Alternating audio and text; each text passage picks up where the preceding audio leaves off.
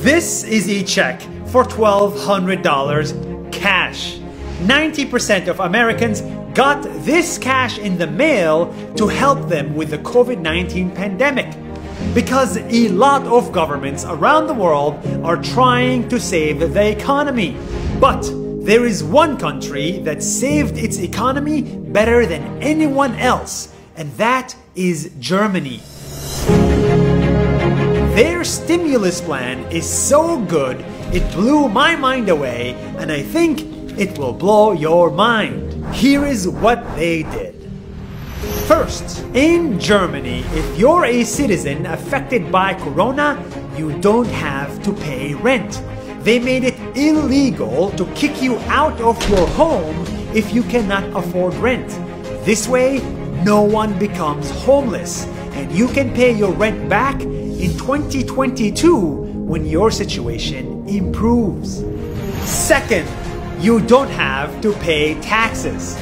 Because of Corona, everything you owe the government, you can pay next year instead.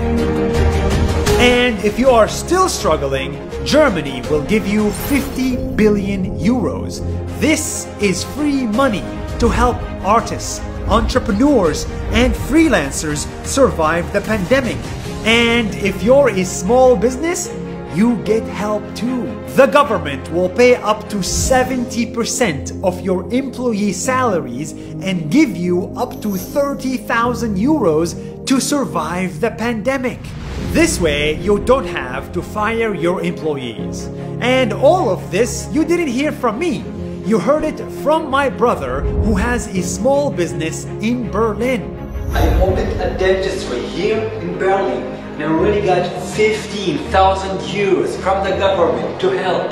And it took me three days to get the grants to save my business.